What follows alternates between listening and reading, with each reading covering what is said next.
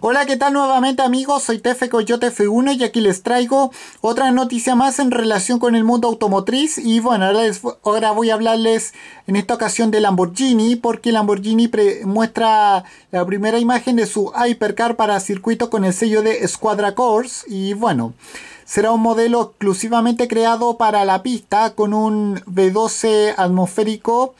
eh, de 6,5 litros con una potencia de 300, 830 caballos fuerza y un, y un apartado aerodinámico de gran nivel para ofrecer la experiencia de conducción más pura. Y bueno, ¿qué les parece si hablamos de aquello? Bueno, desde hace un tiempo sobrevolaba la posibilidad en la marca de eh, Santa Cata Bolognese que esta automotriz lanzara una hipercar,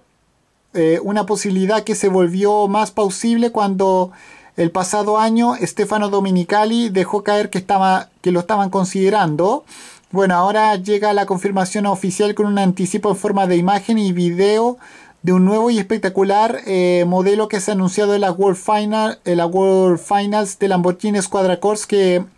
el reciente fin de semana se celebró en la pista española de Jerez de la Frontera. Y bueno,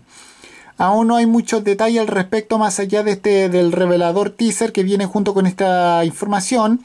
Pero lo que sí se sabe eh, es que será un modelo creado exclusivamente para las pistas de carreras por Lamborghini Squadra Corse, que es la división de competición de la automotriz italiana de Santa Cata Bolognese, que lo fabricará en el centro de estilo de dicha ciudad italiana será una edición limitada con un apartado aerodinámico de gran nivel y, también mecánico llevando a un nuevo nivel el motor eh, de 6,5 litros tipo V12 atmosférico de Lamborghini que ofrece una potencia de 830 caballos de fuerza que estará asociado a una transmisión secuencial marca Extract de 6 velocidades y a un innovador autoblocante mecánico que permitirá regular eh, su funcionamiento en eh, forma eh, dinámica en función del circuito y las condiciones del asfalto. Unido a este conjunto mecánico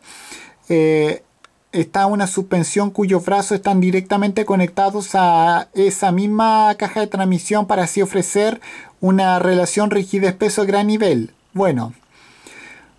eh, como puede verse, bueno, esta imagen contará con una moderna carrocería que no parece estar derivada del modelo Aventador y que contará con detalles como un enorme alerón trasero, una toma de aire sobre el techo y un muy bajo capó delantero con doble toma de aire que hace pensar en un futuro hypercar para Le Mans o como algunos rumores sugieren, aunque aquí Lamborghini habla de un modelo eh, para pista, pero sin una competición. Bueno, habrá que esperar un, poco más para conocerlo con todo detalle y descubrir que este nuevo modelo solo para circuito estará está más cerca de un Pagani Sonda R o un Ford GT MK, un Ford GT MK2